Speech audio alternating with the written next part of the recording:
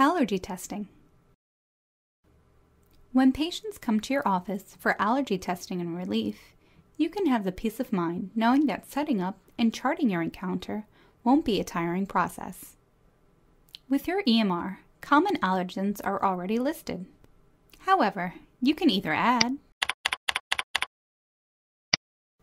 or modify the allergens on your list.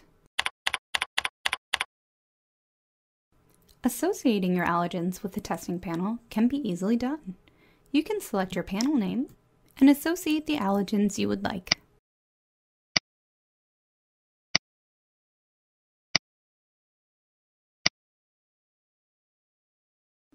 Once you enter the wheal size, that is the endpoint, and the standard treatment vial size, you are finished with your setup. Here with the set allergy note, you can enter the testing and treatment results. Based on the endpoint wheal size, the endpoint dilution is automatically calculated. After the allergen panel has been tested, the system knows the allergens with a positive response and makes them available for the treatment vials.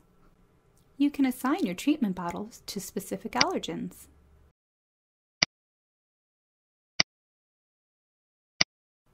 Based upon the default dosage of the concentrate bottle established during setup, the dosage volume is entered for each allergen for each bottle. The volume of diluent is calculated based on the concentrate volume and other diluent.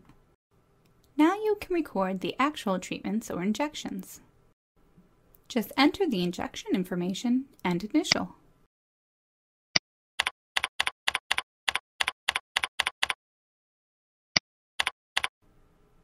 Testing and treating your patients for allergies can be customized simply to tailor to your patient's needs.